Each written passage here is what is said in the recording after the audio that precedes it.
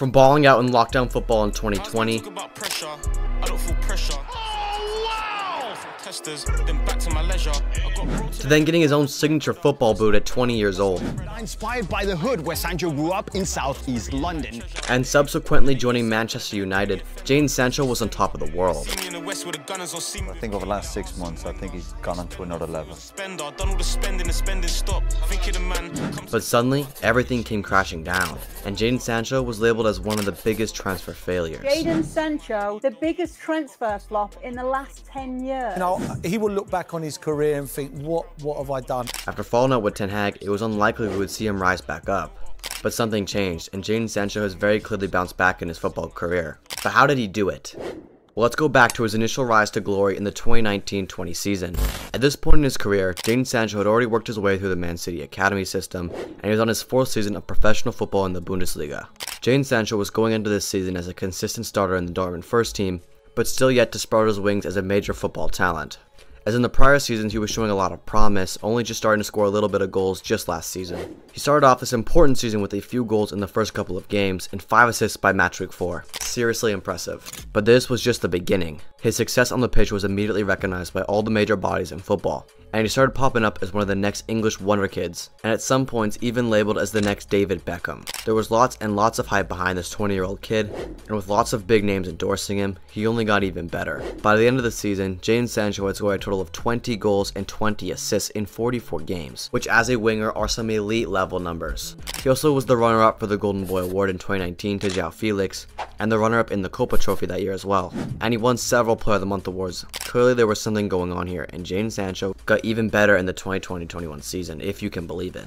To start off the year, Jadon Sancho partnered up with Nike and came out with his signature colorway of the Superfly 7.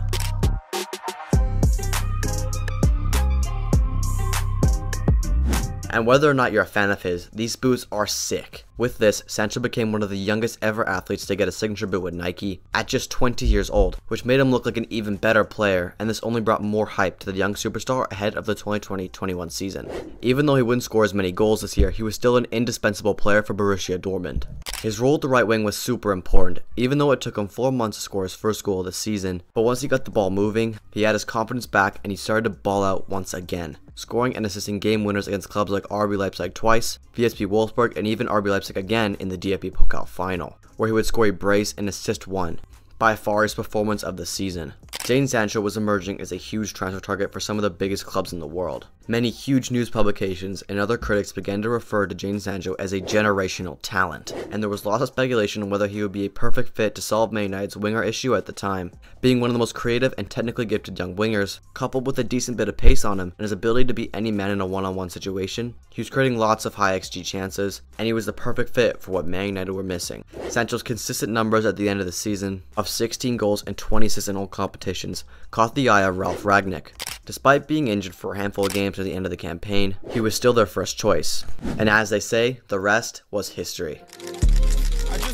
Of Jadon Sancho, 73 million pounds. Part of it is just kind of a dream come true, so. His debut at Man United would have a lot of mixed feelings, as he came on for the final 10 minutes against Leeds, and even though the Red Devils won 5-1, Jadon Sancho was not that exciting to be completely honest. In Jadon Sancho's first dozen appearances for Man United, he really only accomplished two things. Absolutely nothing! And other pointy things. He did score his first goal for them in the Champions League against Villarreal, and it was decent. But fast forward to the very end of the season, and Jadon Sancho had only scored 5 goals and 3 assists in all competitions, which was a pretty big letdown when you cost 73 million pounds and one season ago had 40 goal contributions in the Bundesliga. But the fans had not lost hope as often players had a hard time adapting to the Premier League historically, like how Ronaldo only scored 4 goals in his first Man United season, or Beckham only scoring 8 goals in his first season as a starter. Sancho had time to adapt and grow over the offseason, but as time went on, things just started to look even worse. But right before I continue, if you've made it this far in the video, if you could do me a favor and hit the subscribe button, it would really help me out. It's free and you can unsubscribe anytime. Thank you. It's safe to say that Jadon Sancho had a bit of a hard time in the 2022-23 season. By this point, he had fully become a starter and a first team player, but the increase in playtime had no effect on his performances, as he was equally bad throughout the season, and fans really made it clear to him. He's been shocking. Uh, he, has been absolutely shocking. He's because someone has to be blamed for this. It's another embarrassment when we should be talking about the state of the club, the result yesterday, and actually we've got an intern. There's not much more to say about this season for him, as it was just brutally poor form. In a total of 41 matches, he managed to score a total of 7 goals and 3 assists, which is by far not worth the 73 million euro price tag. But hopefully, under the new management of Erik Ten Hag, things will get better next year.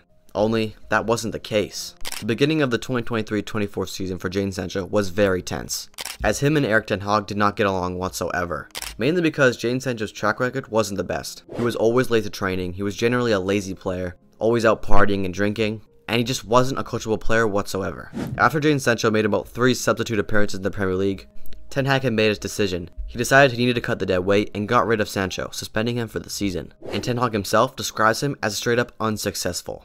But after sitting out for four and a half months thinking, his future would start to turn around, and he finally made a move to Borussia Dortmund. Returns to the club where he made his name. Dortmund is home to me. You know, it's always been a dream for me, so. Finally, Jadon Sancho was out of hiding and finally made a return to Dortmund. There was lots of hype to see this guy back on the football pitch after months of disappearing. It really felt like a new era for Jadon Sancho. Rocking the number 10 shirt, he made his second Dortmund debut against Darmstadt, and this was way better than his Man United debut.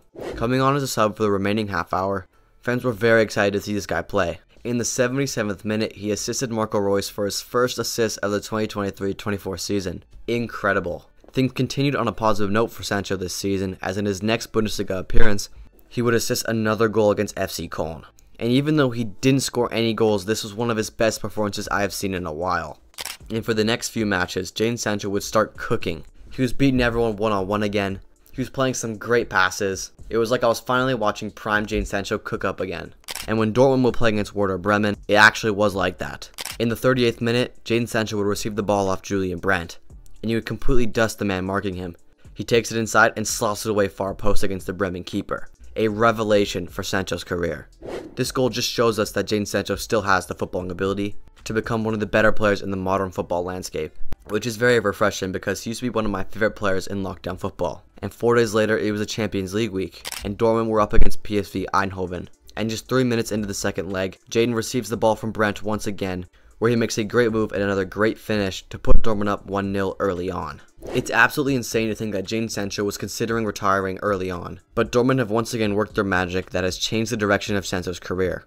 He's finally back to his brilliant best, and even though this is just the beginning for Jadon Sancho's second Dortmund spell, I really think he will excel once he returns back to Man United where his loan expires, or he will get permanently signed back to Dortmund, I don't know. But that wraps up this video. If you have any video ideas you want to see, leave them down below in the comments.